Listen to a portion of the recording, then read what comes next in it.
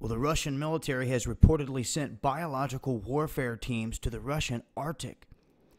Now, this is a location in northern Siberia. They're saying at least 40 people have been killed and 1,200 reindeer have died as a result of a violent and rapid spread of what is believed to be Bacillus anthracis, commonly known as anthrax.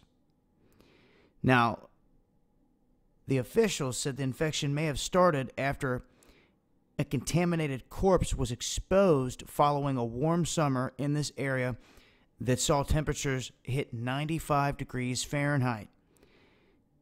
Now, it was pretty dramatic the scenes as there was many different units mobilized with the Russian Army's Chemical, Radioactive, and Biological Protection Corps, equipped with masks, biowarfare protective clothing,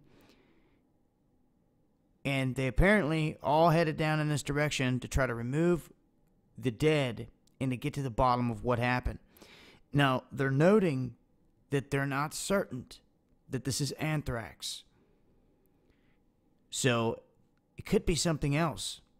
And because of the remote location of the outbreak, they're saying that the situation has been kept in check for the most part and contained. But if this would have happened somewhere else, it could have, could have spread rapidly. But this is the situation that they're dealing with over in Russia. You can see here on the map where it's at. So, at this point, we'll have to see how this plays out if it's anthrax or if it's something else. But the fact that they have sent many different units up here and individuals are dead, along with the reindeer, shows that something's going on. I'll leave a link. Keep you guys posted with more as I come across it. It's been Dahboo7.